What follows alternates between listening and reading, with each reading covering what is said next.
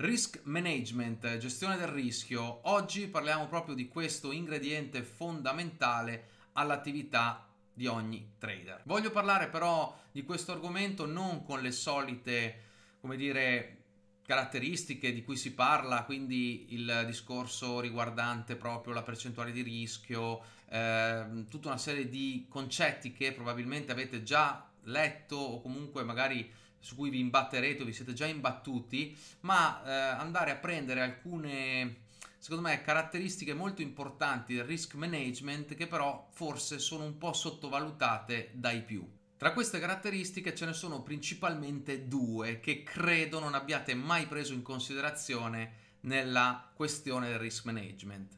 Il primo è il rallentare. Rallentare fa parte di un corretto approccio al risk management perché mantenendo un'andatura lenta possiamo valutare meglio tutto quello che riguarda un'operazione, in primis i costi operativi di quell'operazione Rallentare significa anche fare meno trading. Rallentare permette anche di rischiare di più nel singolo trade.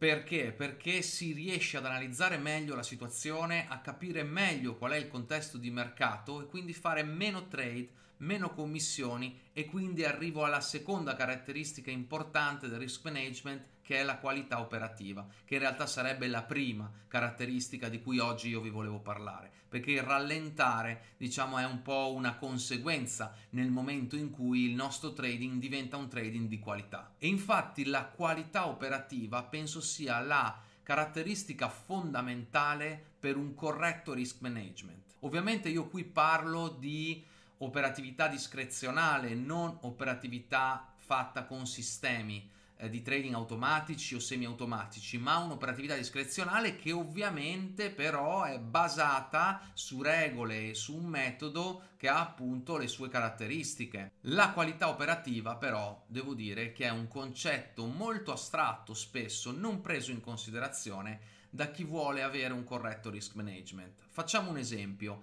Se io vado ad avere magari un approccio di risk management molto conservativo e supponiamo vado a rischiare su ogni operazione lo 0,20% del mio capitale, quindi una piccolissima fetta del mio capitale. Però non ho una vera qualità operativa ed ogni volta che subentra una possibile caratteristica che mi può fare entrare a mercato, entro. Quindi io rischio lo 0,20, lo 0,20, lo 0,20 senza andare a fare, come dire, un'analisi un po' più importante, un po' più approfondita, che ci permetta di contestualizzare quella che è la situazione di mercato, ecco io in quel caso vado a sparare continuamente proiettili così sulla folla senza in realtà avere una precisa destinazione e soprattutto una precisa qualità. Diciamo che noi in Air Forex con il nostro, con la nostra, con il nostro approccio che è ovviamente da price action trader, ma è un approccio anche eh, volto assolutamente a rallentare e alzare nettamente la qualità operativa, ci sentiamo più degli sniper, quindi dei cecchini,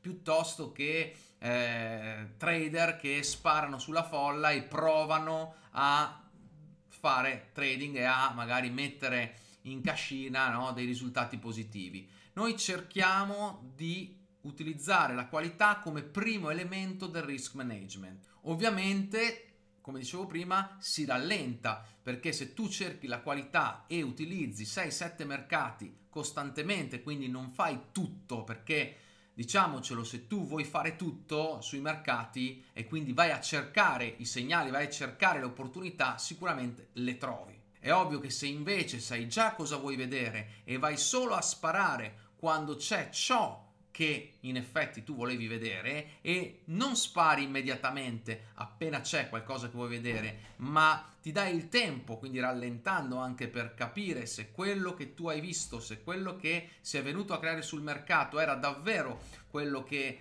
avevi preso in considerazione per fare quel determinato trade, allora la cosa cambia. E ovviamente il risk management, la gestione del rischio diventa assolutamente diversa perché io per esempio potrei decidere di rischiare una percentuale maggiore del mio capitale, come dicevo anche poco, poco fa, perché la qualità operativa del mio trigger è maggiore, quindi invece di rischiare, non so, uno 0,20, uno 0,30, uno 0,5, posso anche decidere di rischiare di più, quindi di aumentare, diciamo, la mia size, aumentare la mia esposizione sul mercato perché già c'è un filtro di risk management relativo alla qualità. Poi è ovvio che anche il setup migliore, anche il miglior trigger può fallire e quindi anche quello può essere chiuso in perdita. Non sto dicendo che il setup di qualità va a negare la possibilità di non perdere, ma sto dicendo che sicuramente una buona, un buon filtro della qualità può permetterci, parla anche la mia esperienza, di filtrare tantissimo il rischio iniziale. Anche perché ricordiamo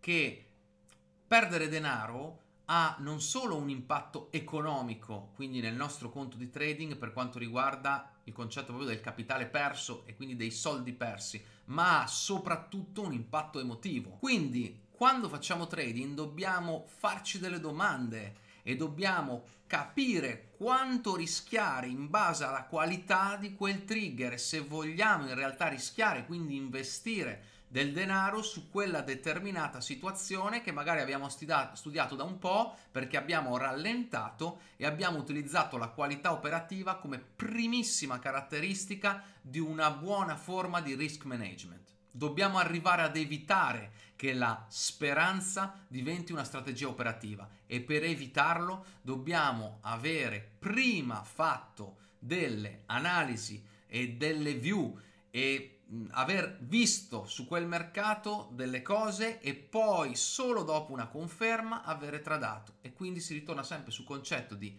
rallentare e di qualità operativa. In questo video non voglio parlarvi poi di quanto sarebbe più corretto rischiare, di questo, di quello, delle tabelle sul rischio, no. Io vi sto parlando di concetti proprio più base, più fondamentali, perché spesso non vengono assolutamente presi in considerazione da chi fa trading. Quindi il concetto è rallentiamo, meno operazioni, meno commissioni e più qualità operativa. La qualità permette di filtrare il rischio. Anche per oggi è tutto, io ovviamente vi chiedo di lasciare un mi piace su questo video, di iscrivervi a questo canale, di attivare la campanellina se non l'avete ancora attivata così da rimanere sempre connessi con noi e con i prossimi video e le prossime live. Vi saluto e ci vediamo al prossimo video. Ciao!